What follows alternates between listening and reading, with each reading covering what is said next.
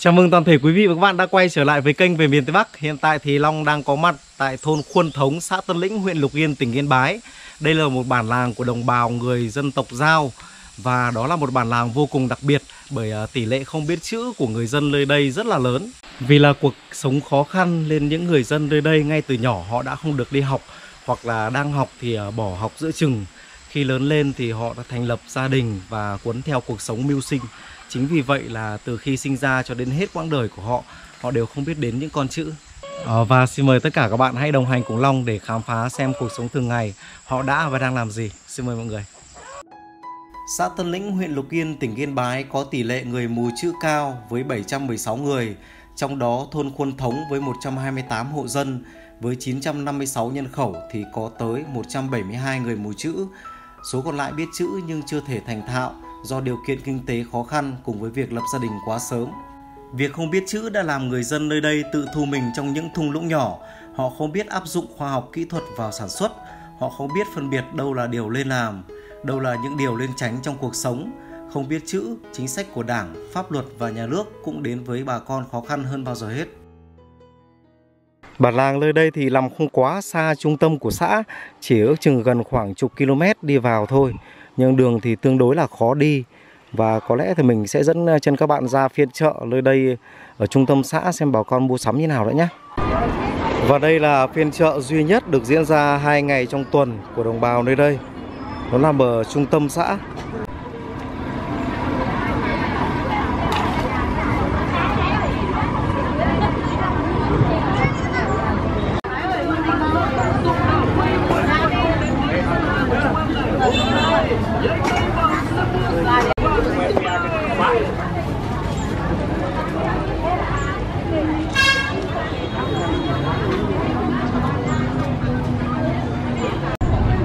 Hết người bán lẻ nha. Đã. Chưa hết được đâu. Con thằng này đã. Đây là một à, loại thuốc, nó được có tên là củ các kè đá. À, chú ơi, chú có thể nói qua một chút về cái tác dụng của cái loại thuốc này được không ạ? được ạ tức là cái này là, là cái tác dụng quan trọng là bây giờ là chữa về thần hư thần yếu À. tiểu đêm nhiều Đấy, thứ hai hai quan trọng nữa là là về chấn thương chấn thương chỉ cần cần nếu khô là mình dấp nước nóng vào xong là bọc vào ngày hôm sau là qua một đêm tức là 12 tiếng hôm sau đi làm bình thường À. vết thương nó tựa như được hàng tháng hơn tháng rồi À, dạ vâng. Đấy, đây là cái thứ nhất cái thứ hai làm thuốc xoa bóp thì ba cân gừng à, ba cân các kẻ đá làm một cân gừng làm thành bột ra xong là bắt đầu cho rượu cao độ vào nghĩa là bóp không có gì bằng nó À. tức là qua một trận ngã nặng về là là cứ chịu khó bôi một vài lần trong một ngày thôi À, dạ vâng. hôm sau đi làm bình thường Dạ vâng, tức là cái thuốc này nó sẽ có tác dụng cho thận hư, thận yếu Thận về thận thận. yếu, Thận thận thứ hai nó.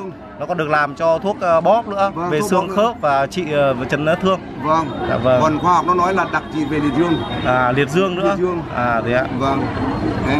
Rất là nhiều công dụng của Vâng. cái loại thuốc này. Cháu cảm ơn chú nhiều nhé. vâng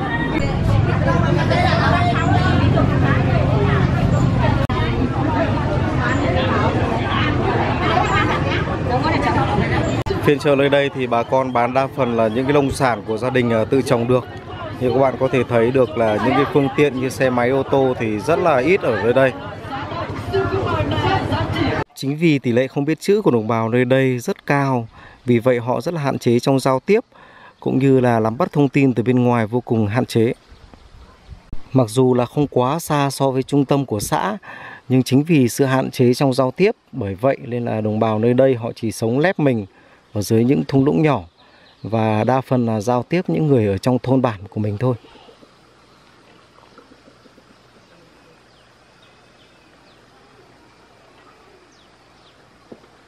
Những ngôi nhà nhỏ bé nằm à, sát nhau và nép ở dưới những thung lũng sườn đồi.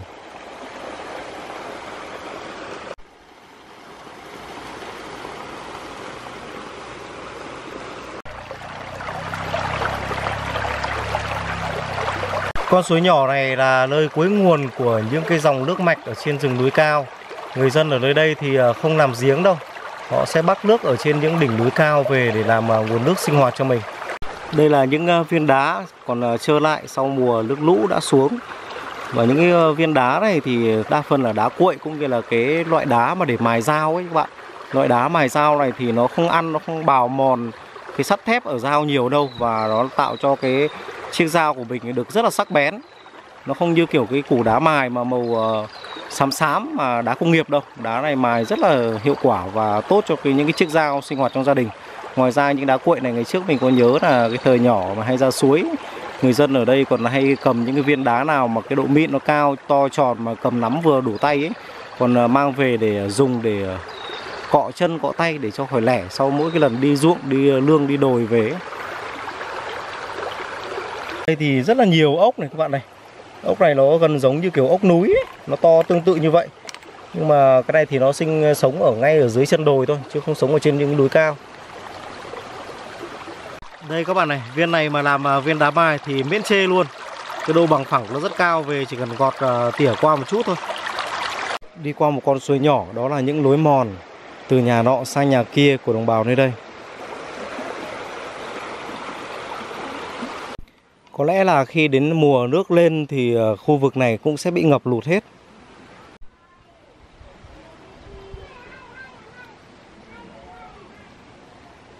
Dạ em chào anh ạ. anh anh tên là gì đấy ạ? Anh đúng. À, đúng ạ, anh đúng ạ. Vâng, mình là người đồng bào giao hết anh ở khu vực này ấy, đa phần là giao đúng không ạ? Ừ, anh ơi, cái cho em hỏi một chút ở cái khu vực này thì tỷ lệ không biết chữ của người dân ở đây cũng khá là cao đúng không ạ? Cao đấy. À vâng. Ừ, mấy mấy cách đây mấy tháng ở trong năm ấy có xã cũng vào đây mở một lớp để xóa mù nhưng mà chị em đi học trong một phần không đi này một phần À. công việc gia đình xong lại không đi học được À người ta mở lớp học nhưng mà một phần là bận do kinh tế khó khăn là mải lao động nên không đi học được. lao động không đi À. được xong là cũng tắt việc học ấy À, à vâng. Và Anh như anh chị là biết chữ hết chưa ạ? anh chỉ biết được tí nhưng mà chị Vâng. thì không biết À anh biết một tí còn chị thì không biết ạ. Anh ơi cho, cho em hỏi một chút là cái khu vực này có gia đình nào mà tỷ lệ không biết chữ cao không nhỉ anh nhỉ? cũng có mấy nhà đấy nhưng À, mà tôi có hỏi thăm một à, gia đình nơi đây thì được biết ở bên cạnh kia thì có một gia đình mà cái tỷ lệ à, mà người không biết chữ rất là nhiều trong gia đình đó. Thì à, mình bây giờ mình sẽ sang bên đó để trò chuyện một chút nhé. Những à, gia đình nơi đây thì à, để sang nhà nhau thì thông luôn. Tất cả các đường rẽ ở đằng trước nhà và đằng sau nhà thì đều thông, thoáng để mọi người có thể sang nhà nhau rất là gần. Đây mình đang ngồi tại một à, gia đình của anh chị. Anh chị ơi, anh có chị có thể giới thiệu về mình được không ạ? Anh tên là gì ạ? Đặng Văn Thủy Anh Thủy ạ, còn chị? À chị Thắm ạ. À, như anh chị là hai người đều không biết chữ đúng không ạ? Ừ, không biết chữ À, không biết chữ ạ. À, thế anh chị là sinh năm bao nhiêu hết rồi? Ừ. Em sinh năm sinh năm 79 À 79 ạ. Vâng. Còn anh anh anh bảy mấy ạ? À 79 78 thì quá đẹp đôi luôn. Như thế là cụ ờ, của mình ờ, cụ già cũng cũng cũng không không biết được đâu đúng không ạ? Thế là chỉ có những cái lớp ờ, trẻ nhỏ khoảng ờ, mới lớn lên thì được đi học đầy đủ không ạ? à, đứa đứa gái thì đi học à, À, bốn nó thì à lớp 4 thì nghỉ. À, à. bây giờ, là con nó bé thì học mẫu giáo Bây giờ là lên lớp 1 À thế ờ, em thấy là ờ, cái dạ vâng, thế cái bản làng của mình cũng khá là gần trung tâm thế tại sao lại mình lại không không đi học ạ? à, ngày xưa thì khó Dạ vâng, ngày xưa là khó khăn. ngày xưa khó khăn Vâng. Thế còn bây giờ là sao mà lại các cháu lại bỏ học giữa chừng nhiều như vậy à anh chị?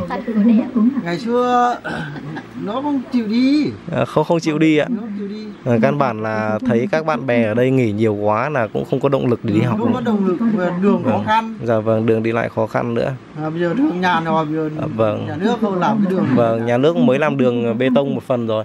Ờ, thế là ví dụ như công việc ở gia đình của anh chị là anh chị làm trồng lương cho nó dãy hay là ruộng lương gì ạ? cũng trồng lương trồng giấy thôi À, có giờ nhập nó trồng cây hết rồi à trồng cây ạ. Vâng vâng. Thế những cái đồi trên kia là người ta thầu người ta trồng hết rồi ạ. Có của nhà mình có tí nào không ạ?